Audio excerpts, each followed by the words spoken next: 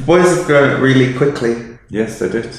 It's three years ago that we started our adoption journey. Three years. Yeah. Three years when we went to the information evening, Yeah. sat in this really awkward room with lots of very nervous people and listening. I, I didn't find it that awkward. You just don't know what to expect, do you? Especially as gay adopters, you you kind of uh, feel a bit, um, I don't know, worried that you're going to have people looking at you there. Well, I suppose you just don't know what the rea- reaction is going to be. Yeah, no, absolutely. We were the only gay couple in the in that initial session. Yes, we were. We were actually, but uh, there was no special reaction. No, No. Uh, I mean, if if anything, people were incredibly um, went out of their way to be incredibly accepting, or rather, to make us feel comfortable. Absolutely. Um, people were just very nice. You know, in that initial in the, in that initial meeting where we went to find out about what the process was, and we met or Barnardo's social worker, who then turned out to be our actual social worker, which we obviously at the time we didn't know he would be, but um, it was for me very. It was an eye opener. There's a lot of information to take in. Who knew that you would go through so you had there was so much to go through, and I remember when we when we left and we were walking back to the car park, there was so we, we left with a massive load of paperwork. It was phenomenal. It was about that thick, and I kid you not. And anyone who's gone through the process knows that that's not an exaggeration. You leave with a pile of paper that thick. Um, but I think I, I wasn't prepared for. I think the the sheer volume of meetings that we would have to then have following that. Yeah, absolutely. What was the strangest thing of that process for you? I don't know if I had one thing that was the strangest. I, I think the whole the whole process is quite strange. I mean, especially in the first parts because it's such an intrusive thing, isn't it? I mean, we we sat down with or um, uh, the caseworker, um, and I remember, you know, the well, first of all, filling out all those forms, all those paperwork, it is already. I mean, it is a very daunting task, isn't it? Yeah. Uh, but I think the, que- the sort of questions that they ask in the sort of details, things like asking about your past partners, I wouldn't have expected that to, to come up. No, and they also having to be a reference. And then having to put them down as people for them to contact that they're going to speak to Yes. is incredibly sort of just weird and scary. I mean, not that there was anything to be scared about, but you know, that's uh, I can imagine how it must be daunting for a lot of people to have to put that information down. Well, what I found very weird were the exchange fairs. Remember these?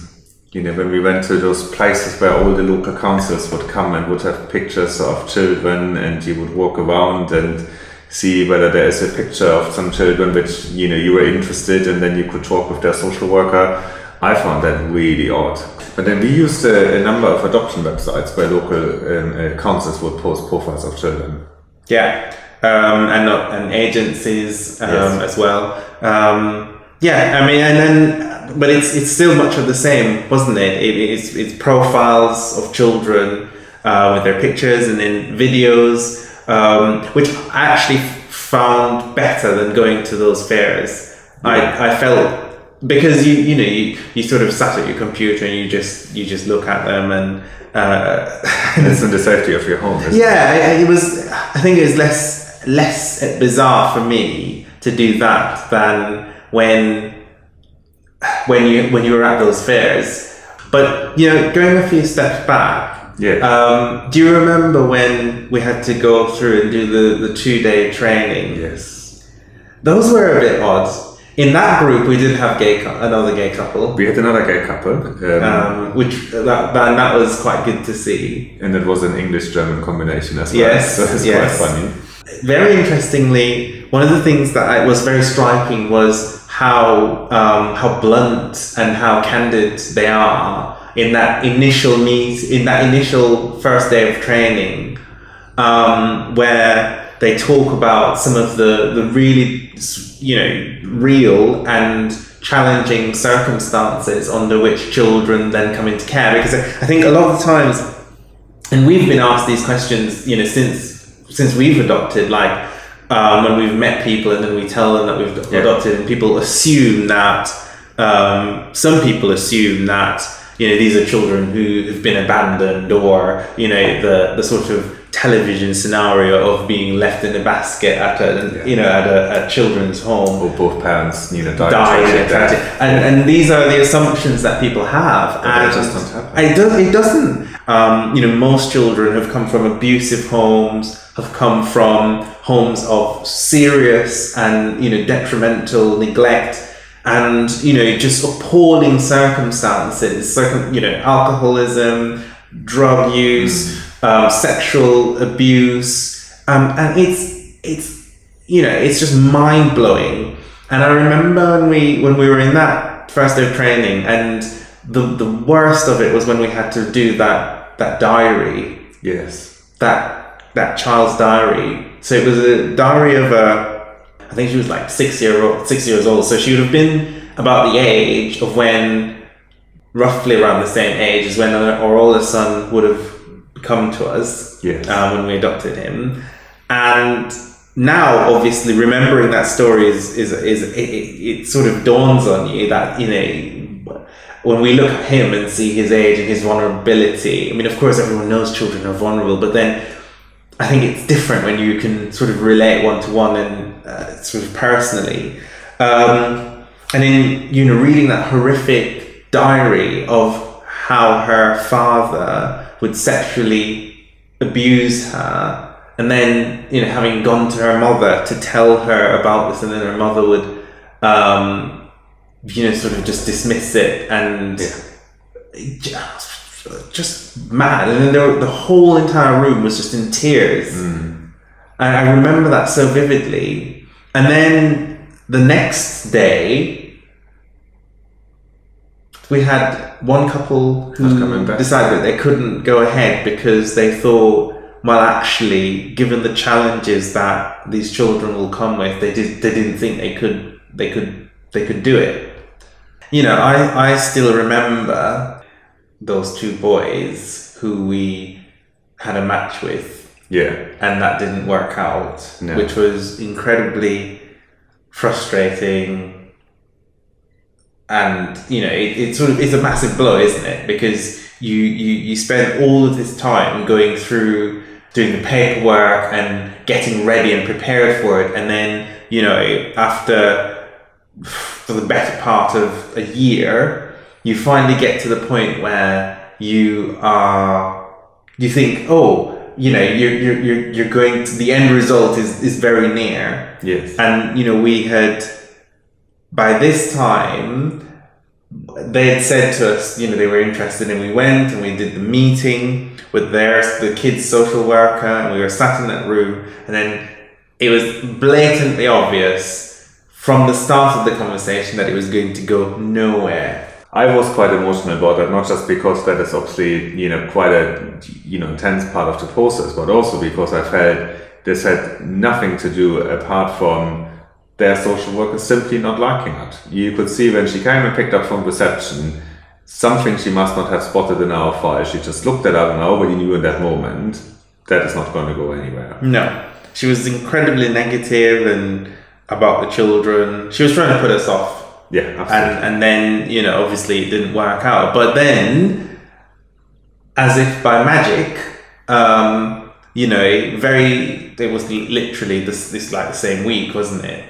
Yes. When online you were you were away yes, indeed, yeah. you were away and then i had a conversation with the boys social worker Yes. Which went incredibly well. Um, you know they liked our profile.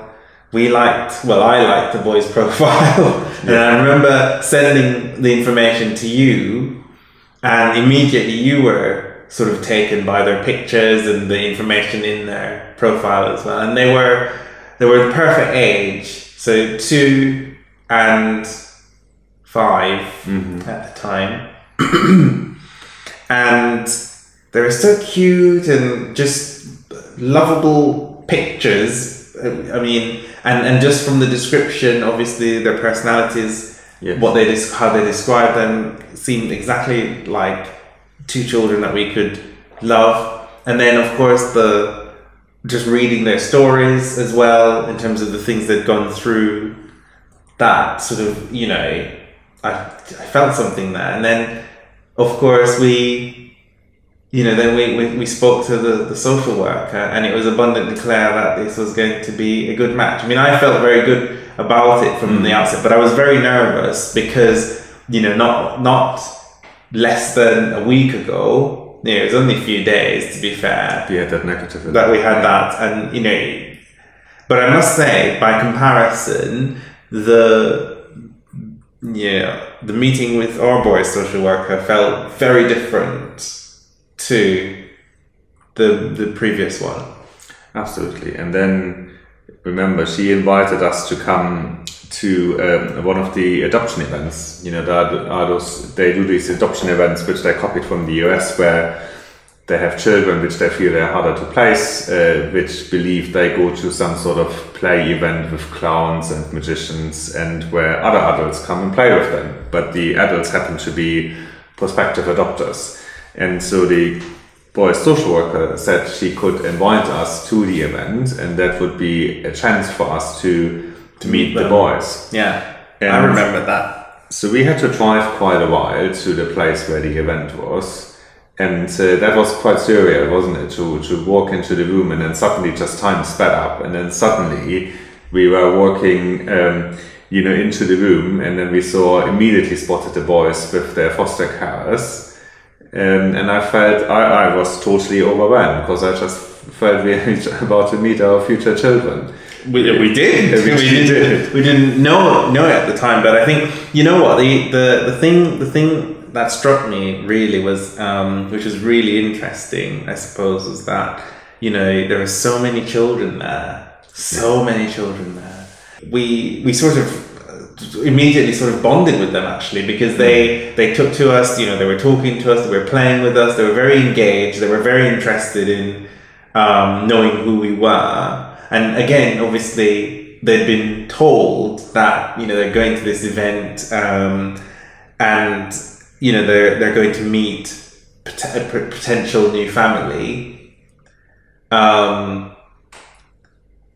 and I suppose it's a bit weird. It must be also very strange for the children involved as well, because I found it quite bizarre. But I relaxed afterwards, and I think you know we can sort of process things and understand. And, you know, we're the ones going into it looking for um, a family, whereas they're just there.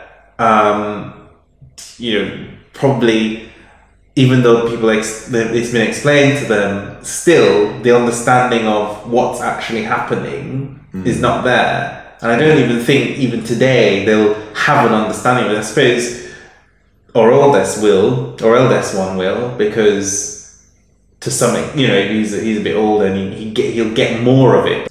Yeah, that was um, that was a, very intense day, and then you had to drive back because I could not concentrate. at all. no. I was actually quite quite overwhelmed, and then and then from that it really totally sped up because the social workers were convinced that this would be a good match. We went to matching panel, and then from matching panel the, the clock just starts racing, isn't it? We decorated their rooms. And then drove where um, the boys lived with the foster carers, and suddenly started introduction. Yeah, and I think pretty much about a month or so from the time we first met them, Absolutely. that that that we got to the point of no, it was probably about a couple of months actually. Yes, yeah. From the point of actually meeting them, going through to the matching panel and getting the formal approval. Um, I found the matching panel process. I thought it'd be a lot more daunting. I mean, I was I was terribly nervous. Me too. Um, but but then it turned out not to be as nerve wracking. Actually, in reality, it felt more nerve wracking than it than it was when you when you finally leave and you know you've got these twelve people, these twelve people who who sat there from various backgrounds. You know, some of them are adopters, some of them have been adopted, some of them are medical professionals, some of them are, you know, social workers in other fields or in adoption as well. Um, but all sort of having some sort of link to childcare and understanding of what children in the care system go through. Um, and then, you know, they, they have to sit there and they have to listen to your story. Why do you want to adopt? And I remember thinking, like before, the weeks before that, when we were preparing all our statements and filling yet more form filling, I think we filled in about eight or nine different forms in, in that process of why do you want to adopt them? What what's their life going to look like with you? What are your plans? What are your future plans? What are the challenges you think you're going to face? How are you going to deal with those challenges? Um, you know, all the things that yes you think about, but then to articulate it in intricate detail on a piece of several pieces of paper is just Yeah, that's um, it was it was tough. And then obviously there are these twelve people who are sat there who've read it and they know everything about you. I mean, they know you inside out because they've had first of all they've had the detailed documentation of your whole entire life's history back to your childhood. And then of course they have that additional piece of document.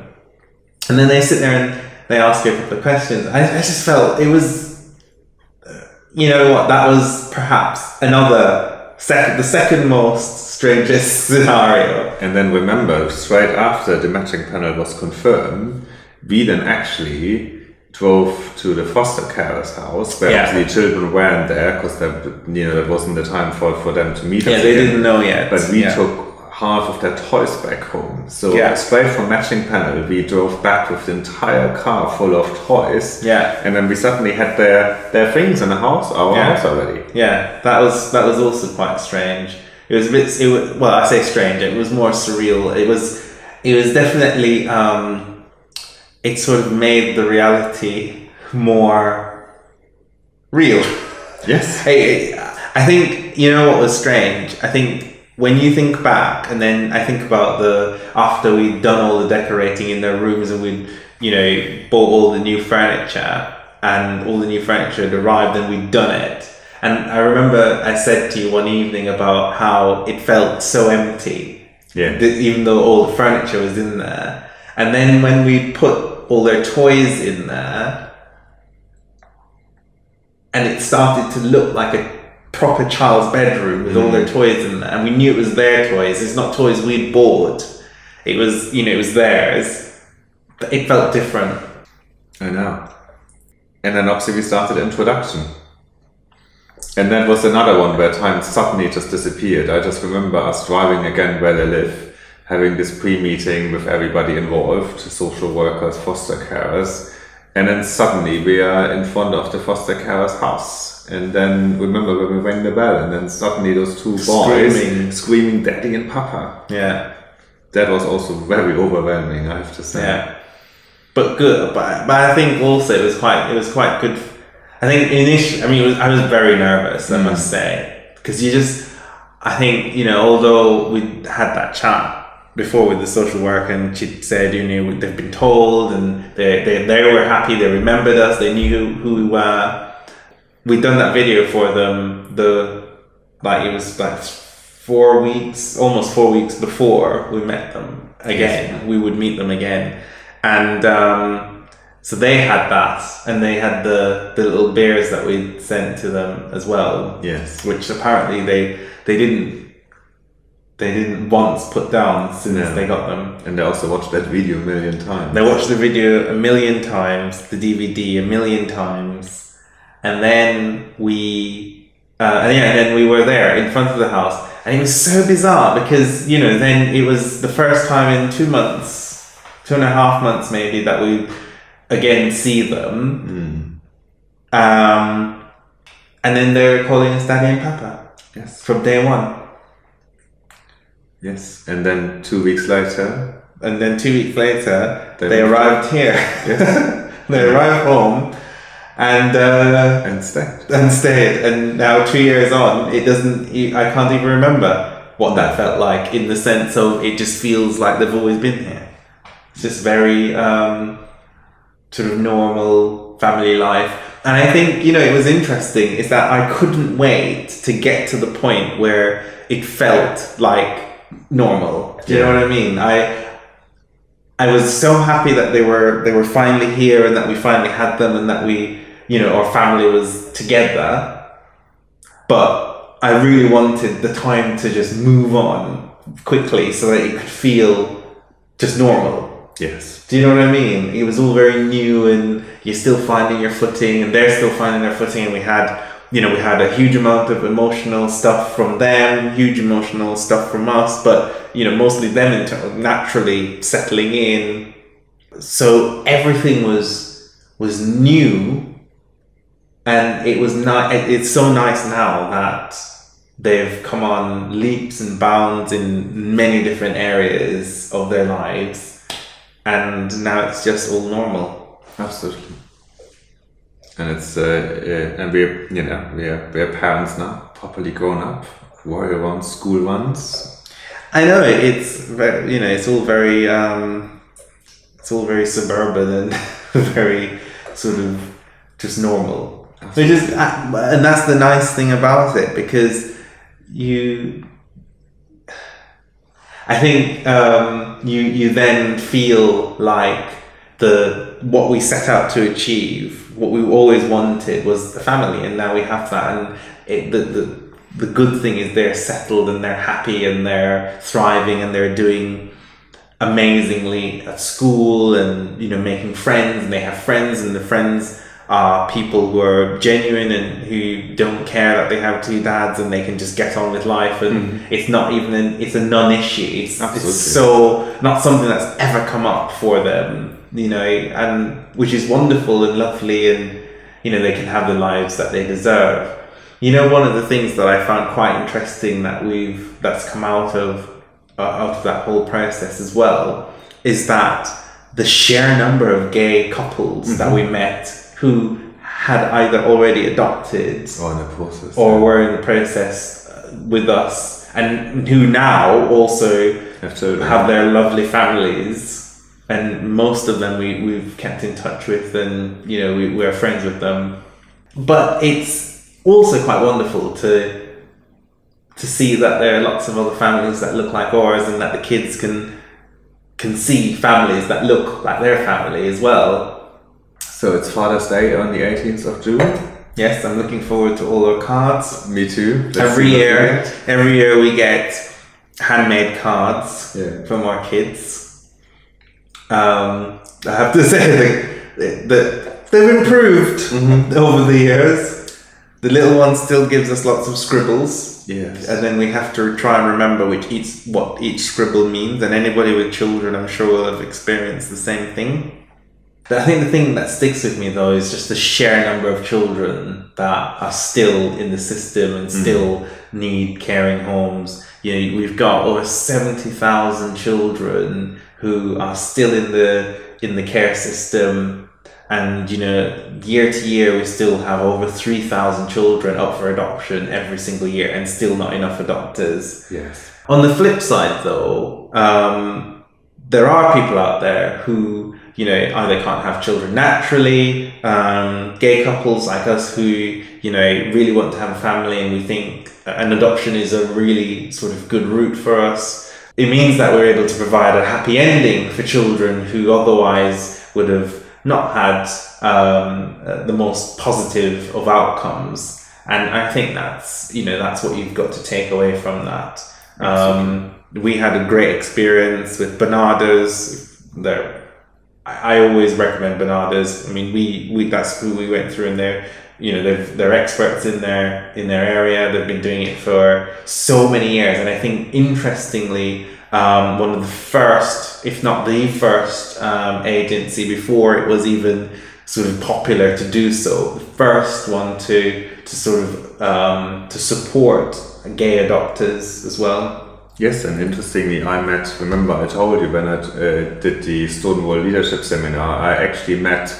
Um, uh, uh, in my group was a, a woman who is working for Barnardo's and who actually was the first ever gay adopter with Barnardo's. Yeah, yeah. I mean, they're they they do great work. Yes. Um, and I and I like the fact that they've supported um, gay adopters for so many years, and I think you know this is why our experience was so. Um, uh, so such a positive one because they're so open and there was no um, you know there was no not even an inkling of any negative feeling. I mean, every single person that we dealt with was really positive and supportive um, of us as a couple. It didn't even factor in to the equation that we were a gay couple.